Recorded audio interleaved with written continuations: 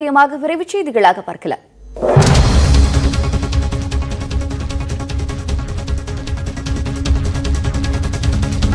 புத்தாண்டை முன்னிட்டு தமிழகம் முழுவதும் டாஸ்மாக் கடைகளில் டிசம்பர் முப்பத்தோராம் தேதி நூற்று ஐம்பத்தி ஒன்பது கோடி ரூபாய்க்கு மது விற்பனையாக இருக்கிறது. கடந்த ஆண்டை ஒப்பிடும்போது மது விற்பனை ஒன்பது கோடி ரூபாய் அதிகரித்துள்ளது. அதிகபட்சமாக சென்னை மண்டலத்தில் 48 கோடி ரூபாய்க்கு மது விற்கப்படுகிறது. திருச்சி மற்றும் கோவை மண்டலங்களில் தலா 28 கோடி ரூபாய்க்கும் மதுரை மண்டலத்தில் 27 கோடி ரூபாய்க்கும் மது விற்பனையாக இருக்கிறது. சேலம் மண்டலத்தில் 26 கோடி ரூபாய்க்கு மது விற்கப்பட்டது.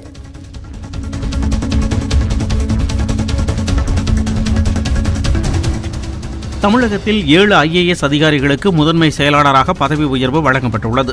ஆயிரத்து தொள்ளாயிரத்து தொன்னூற்றி ஏழாம் ஆண்டு ஐஏஎஸ் தேர்ச்சி பெற்ற ஏழு அதிகாரிகளுக்கு பதவி உயர்வு வழங்கப்படுவதாக அரசாணையில் குறிப்பிடப்பட்டுள்ளது. அதன்படி வீட்டு வசதித்துறை இயக்குநர் கார்த்திகேயன் பணியாளர் மற்றும் நிர்வாக சீர்திருத்தத்துறை செயலாளர் ஸ்வர்ணா மின்சார வாரிய இயக்குநர் பங்கஜ்குமார் பன்சால் ஆகியோருக்கு பதவி உயர்வு வழங்கப்பட்டுள்ளது. மேலும் தலைமை தேர்தல் அதிகாரி சத்யபிரதா சாஹூ வணிக வரித்துறை செயலாளர் பீலா ராஜேஷ் ஆகியோரும் பதவி உயர்வு பெற்றுள்ளனர். இதேபோல ஆஷிஷ் வச்சானி மற்றும் ஹர்ஷகாய் மீனா ஆகியோருக்கும் பதவி உயர்வு வழங்கப்பட்டுள்ளது.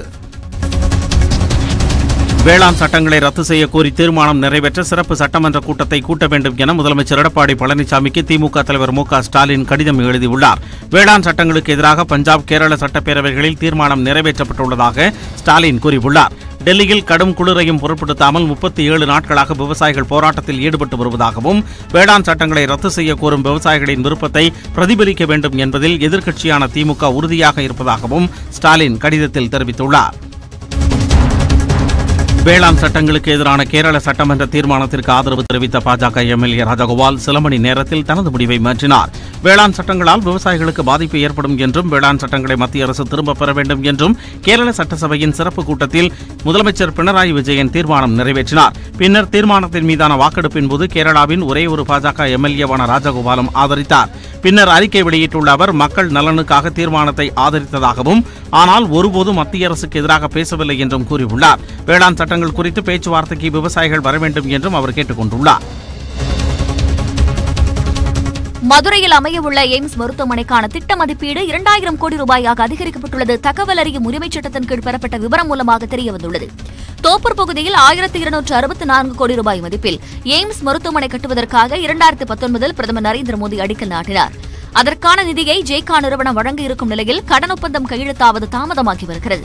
இந்நிலையில் எய்ம்ஸ் கட்டுமான பணிகள் குறித்து தென்காசியைச் சேர்ந்த சமூக ஆர்வலர் தகவல் அறியும் உரிமைச் சட்டத்தின் மூலமாக விவரம் கேட்டிருந்தார். இதற்கு மத்திய அரசு தெரிவித்திருக்கும் பதிலில் கடன் ஒப்பந்தம் இரண்டாயிரத்தி இருபத்தொன்று மார்ச் மாதத்தில் கையெழுத்தாகும் எனவும் இதன் மொத்த மதிப்பீடு இரண்டாயிரம் கோடி ரூபாயாக இருப்பதாக தெரிவிக்கப்பட்டுள்ளது. இதில் எண்பத்தைந்து சதவிகித நிதியை ஜெய்கா நிறுவனம் வழங்கும் எனவும் மருத்துவமனை பணிகள் முடிவுற்ற பிறகே மருத்துவக் கல்லூரி கட்டுமான பணிகள் துவங்கும் என மத்திய அரசு பதிலளித்துள்ளது. ஹைதராபாத் அப்பல்லோ மருத்துவமனை மருத்துவர்கள் ஊழியர்களுக்கு நடிகர் ரஜினிகாந்த் புத்தாண்டு வாழ்த்து தெரிவித்துள்ளார் இறைவனின் அருளால் தற்போது நலமுடன் இருப்பதாக ரஜினிகாந்த் பேசும் வீடியோவை அப்பல்லோ நிர்வாகம் ட்விட்டரில் வெளியிட்டுள்ளது Well, greetings to all uh, Apollo staff, doctors, nurses, to everybody. Happy New Year. I'm extremely happy. I'm going with peace of good health, peace of mind, by, by God's grace. And excellent maintenance and excellent staff, cleanliness, I mean, ev- everything. Keep it up. Karnataka மாநிலத்தில் ஒன்பது மாதங்களுக்கு பிறகு பத்து மற்றும் பனிரெண்டாம் வகுப்பு மாணவர்களுக்கு பள்ளிகளும் சில கல்லூரிகளும் மீண்டும் திறக்கப்பட்டன. அந்த மாநிலத்தில் மட்டும் தனியார் அரசு பள்ளிகள் என பதினாறாயிரத்து எட்நூற்று ஐம்பது பள்ளிகள் இருக்கின்றன. பள்ளிகள் கல்லூரிகள் என இதில் பதினாறு லட்சம் மாணவர்கள் படிக்கிறார்கள். பள்ளிகள் திறப்பை அடுத்து வகுப்பறைகள் கிருமி நாசினி தெளித்து சுத்தமாக வைக்கப்பட்டன. கொரோனா அச்சத்தால் குறைந்தளவு மாணவர்களே பள்ளிக்கு வந்தனர். இணைய வழி வகுப்பும் நடைபெற்று வருகிறது. கொரோனா தடுப்பு விதிமுறைகளும் கல்வி நிலையங்களில் பின்பற்றப்பட்டன.